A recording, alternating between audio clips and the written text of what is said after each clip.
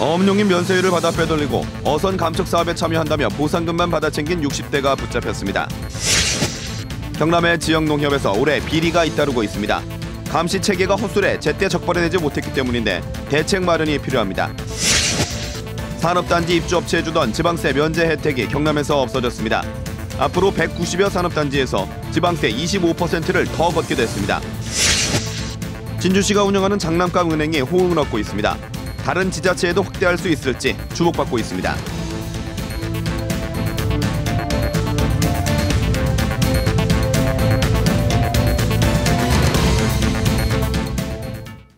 안녕하십니까. 이어서 경남 소식입니다. 어업용인 면세율을 받아 빼돌리고 어선 감척 사업에 참여한다며 보상금만 받아 챙긴 60대가 해경에 붙잡혔습니다. 서류만으로 대상자를 정하다 보니 감독이 허술했습니다. 김준원 기자의 보도입니다. 한 남성이 자동차에서 휘발유 4통을 들고 나옵니다. 이 휘발유는 영세 어민을 위해 시가의 절반에 공급하는 면세유입니다. 그런데 두 개는 어선에 옮기더니 나머지 두 개는 가게 창고로 옮깁니다. 나중에 자기가 운영하는 레저용 보트에 쓰기 위해서입니다. 레저업체 대표 60살 김모 씨는 이런 수법으로 지난 2013년부터 면세유 5만 리터, 4,500만 원치를 빼돌렸습니다. 그 산소통을 그 사람들이 실크를 못 가니까 그 배로 다이버 하는 사람을 시켜줬습니다. 김 씨는 다이버들이 잡아오는 조개 등 해산물을 어업으로 잡았다며 면세유를 받을 때 내는 서류를 허위로 만들었습니다. 이렇게 어업 실적을 인정받아 창원시의 감척 사업에도 응모했습니다. 김 씨는 창원시에 허위 문서를 제출한 뒤 감척 대상자로 선정돼 4천만 원의 보상금을 받은 혐의도 받고 있습니다. 서류로만 대상자를 뽑고 사후 감독이 없다는 것을 노린 겁니다. 이분에 대해서 정상적으로 어업 활동을 했다고 하시는 분들이 아무도 없고 그 세밀하게 검토를 하더라도 아마 바로 서류만을 봤을 때는 좀 알기 힘든 부분이 아니었나. 경찰은 김 씨를 사기 혐의로 구속하고 면세유 불법 유통에 대한 특별 단속을 실시하기로 했습니다. KBS 뉴스 김준원입니다. 경남의 지역 농협에서 금융, 경제사업 부문 가릴 것 없이 올해 사고가 잇따르고 있습니다.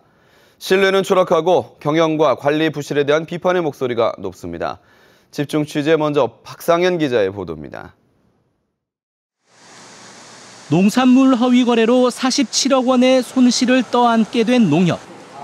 실적 때문에 벌인 일입니다. 한 직원이 10달 만에 빼돌려 유흥비에 탕진한 농기계 구입비가 21억 원에 이르는 곳도 있습니다. 시스템은 허술했습니다.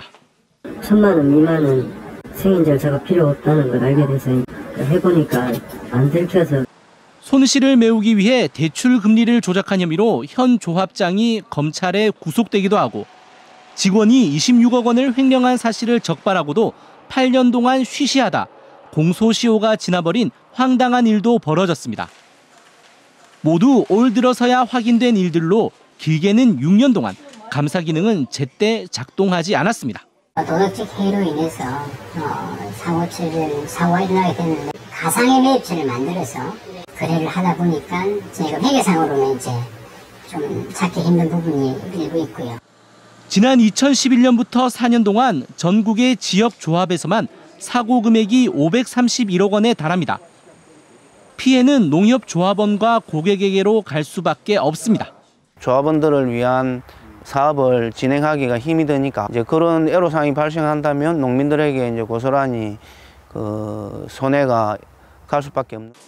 청렴 농협 구호가 무색해지면서 농협에 대한 신뢰에도 금이 가고 있습니다. KBS 뉴스 박상현입니다. 보신 것처럼 수년 동안 이루어진 허위 거래와 횡령도 제때 적발해내지 못했습니다. 감시체계에 구멍을 보인 셈인데요. 대책 마련이 시급합니다. 이어서 손원혁 기자가 취재했습니다. 지역 농협에서 확인된 사고 금액 70%는 농기계나 농산물, 물품 거래 등 경제 부문에서 이루어졌습니다. 담당 직원이 주로 전산이나 서류를 조작하는 수법입니다. 2년에 한 번씩 농협중앙회의 감사를 받지만 서류상 허위 거래로 이마저도 속이는 겁니다. 경남의 지역 농협은 141곳, 한 해 70여 곳이 중앙회 감사를 받는 건데 내된 명이 5일 만에 전수조사까지 다 할 수는 없습니다. 자체 감사가 있지만 대의원 투표로 뽑다 보니 전문성보다 인맥에 좌우되는 경우가 많습니다. 그 감사 기능이 제대로 작동이 안 되는 비전문가지 않습니까? 너무 복잡해서 웬만한 사람은 농협 회계를 보고 머리를 절레절레 흔들 정도다. 전문성을 갖춘 외부 상임 감사를 두고 내부 감사 역량을 강화해야 한다는 지적이 나오는 이유입니다. 하지만 농협중앙회가 감사 기법을 지역 농협과 공유하는 것에 소극적이라는 비판도 나옵니다. 어떤 뭘 무엇을 파악하면 되는지 네, 그런 기법들 이런 거 있지 않습니까? 네. 이런 것들은 이제 중앙회가 개발하고 또 가르쳐주고 뭐 이런 것들을 할 수 있는 이렇게 좀 틀거리를 좀 마련해주고 이제 해야 되는 거죠. 전문가들은 경제 사업과 금융 사업이 섞인 복잡한 농협 회계를 보다 쉽게 바꾸고 손실이나 비위를 조합원들에게 투명하게 공개해야 한다고 지적합니다. KBS 뉴스 손원혁입니다. 기업 유치를 위해 산업단지 입주업체에 베풀던 지방세 면제 혜택이 경남에서 없어졌습니다. 이로써 경상남도는 연간 150억 원의 지방세를 더 거둘 수 있게 됐습니다. 천윤수 기자의 보도입니다. 지난해 말 준공된 밀양의 농공단지입니다. 이곳에 입주 기업이 공장 건물 취득세 4,300만 원을 부과하는 것이 부당하다며 소송을 냈습니다. 그동안 산업단지 입주업체는 취득세를 전액 면제받아 왔는데 자신에게 부과하는 것은 형평에 어긋난다는 것입니다. 하지만 법원은 1심과 2심에서 모두 지방세를 물어야 한다고 원고 패소 판결했습니다. 지방세 특례 제한법에 50% 범위 내에서 감면하도록 규정해 부과가 문제 없다는 것입니다. 조례를 제정하고 그 조례에 따라서 어, 적법하게 예, 과세권을 행사한 것에 대해서 법원이 그 정당성을 인정한 판결로서 의미가 있습니다. 소송의 발단은 2013년 경상남도가 도세 감면 조례를 개정해 산업단지 입주업체에 지방세를 100%가 아닌 75%만 감면해 주도록 한 것. 기업 유치를 위한 특혜를 더 주지 않아도 된다는 판단했습니다. 또 법인세인 국세는 그대로 두고 지방세만 전액 면제해 주는 것도 부당하다는 이유가 있었습니다. 이 부분은 도민들한테 골고루 투입되는 겁니다. 복지 분야 지금 계속 예산이 늘어나니까 이러한 돈이 들어와야 복지 분야도 더 지원이 되는 그런 추세입니다. 지방세를 내야 하는 대상은 경남도 내 193개 모든 산업단지에 5,200여 기업체, 신규 산업단지에 입주하거나 공장을 사고 팔 때도 취등록세가 모두 부과됩니다. 경상남도는 최근 3년 동안 570억 원의 지방세를 이들 기업들로부터 징수했습니다. KBS 뉴스 천현수입니다. 진주시에는 아이들의 장난감을 빌릴 수 있는 장난감 은행이 네 곳이 있습니다. 아이를 키우는 가정에서는 경제적인 부담을 줄일 수가 있어서 호응이 좋은데요. 다른 지자체에도 확대하는 방안이 논의되고 있습니다. 보도에 송금한 기자입니다. 연간 2만 원을 내고 장난감을 빌릴 수 있는 장난감 은행입니다. 책과 DVD를 대여할 수도 있고 아이들의 놀이 공간도 마련돼 있습니다. 비용도 절감하면서 새로운 걸 이제 바꿔가면서 놀 수 있으니까 너무 좋은 것 같아요. 책도 많이 빌려서 이제 볼 수도 있고요. 진주시의 복지 정책의 하나로 2011년에 처음 문을 열어 현재 4곳을 운영하고 있습니다.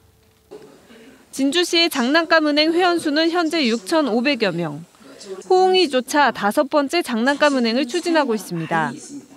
이용자들은 점심시간에도 이용하도록 하는 등 운영 시간을 확대해 줄 것과 위생과 안전 관리에도 특별히 관심을 써줄 것을 주문했습니다. 사업 진행 시간이 정말 딱 6시까지만이라서 울며 겨자 먹기로 아이를 데리러 가야 할 때도 있었습니다. 인근 다른 지방자치단체 학부모들도 장난감 은행 설치를 요구했습니다. 이런 시설들이 사천에는 없습니다. 뭐 사천에 같은 또래 엄마들을 이렇게 만나게 되면은 어, 사천에도 이런 시설이 생겼으면 좋겠다고. 보육비 부담에 힘들어하는 가정에 짐을 덜어주는 장난감 은행 제도. 비용 절감을 위한 정책 대안으로 다른 지방자치단체의 주목을 받고 있습니다. KBS 뉴스 송금환입니다.